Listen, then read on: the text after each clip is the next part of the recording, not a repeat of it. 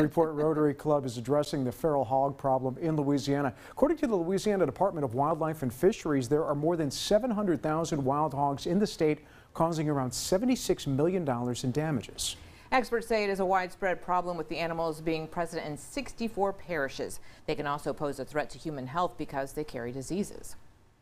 Unfortunately, our populations of feral hogs in this state have steadily grown, uh, similar to many other states throughout the southeast U.S.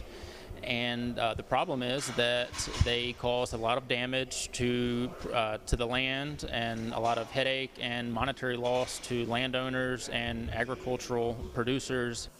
That's right. Right now, the hogs are winning the fight. He says the best method right now is to educate people on how to manage the animal on their own property, as well as educating them on the most effective methods to drive them away.